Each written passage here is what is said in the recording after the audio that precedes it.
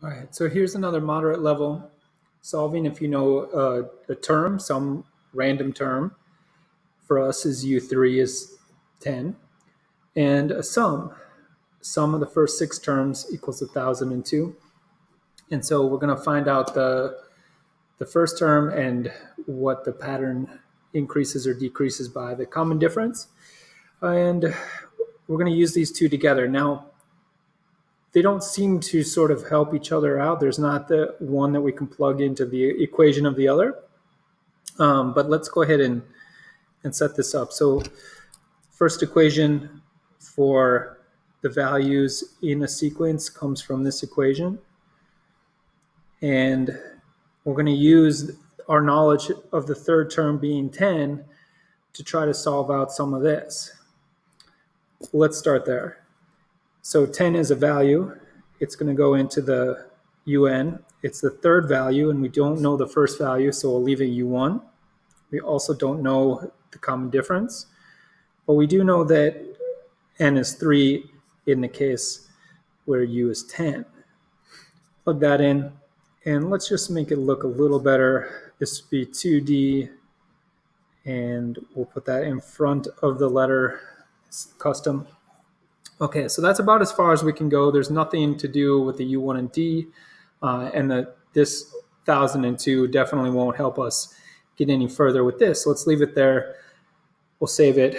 We can't make it look any better. So moving forward, the other equation for the sum of arithmetic sequences goes as follows. And we're going to go ahead and use this one, but with the information of this sum of the first six terms being 1002.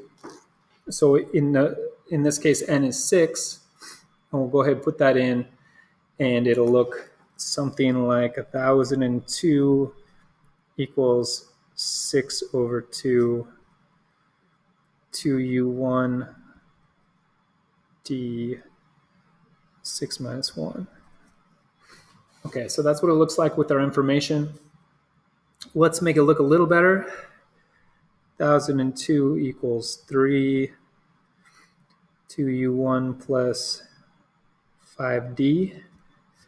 And even better yet, we can distribute the 2 and, uh, excuse me, distribute the 3 and go from there. 1002 um, well, you know what? Let's instead, let's divide the 3 because 1002 is divisible by 3. And so it'll cancel here. Uh, 334, and that's going to give us the best, simplest equation.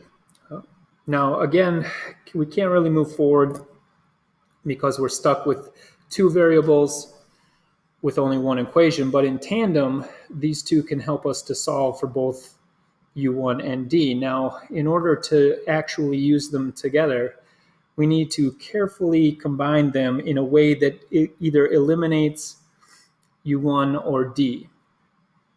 Uh, or we could solve and substitute something into the other one, um, but I'm noticing they're kind of set up already for your elimination skill.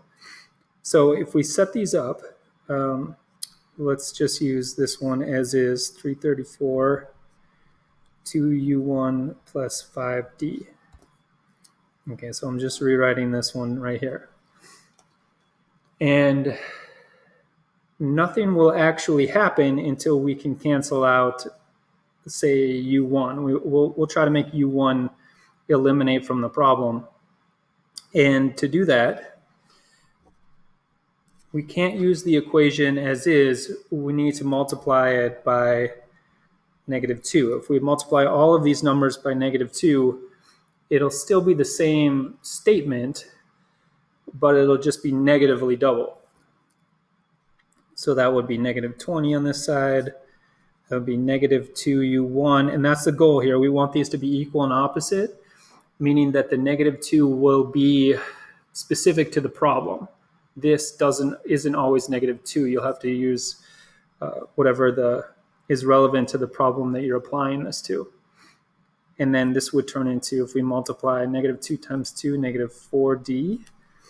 And now we can add these together. Traditionally, they're stacked one on top of the other. And if we combine this, uh, 334, that would be 314 on this side. There would no longer be U1, which is the purpose of this elimination. So we are using elimination. And it would just be D. So in this case, 314, uh, there's no further steps to go. We figure out, well, this pattern is, is counting by 314 as a common difference. So we kind of figure out half of this, but we still have to go back and figure out U1.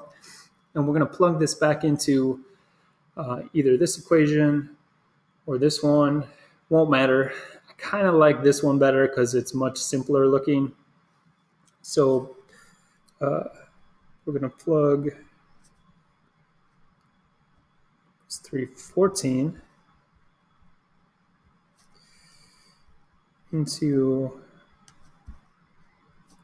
one of the equations.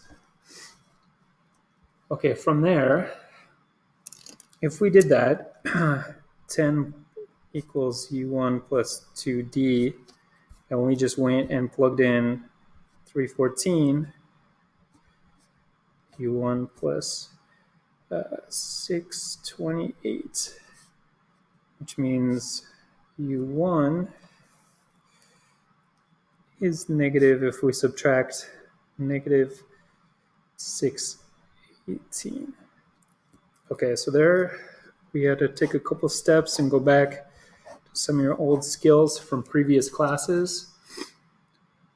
And this, whenever you're presented with a random term and a somewhat random sum, you're going to have to go through a similar process using this strategy of elimination to figure out both variables.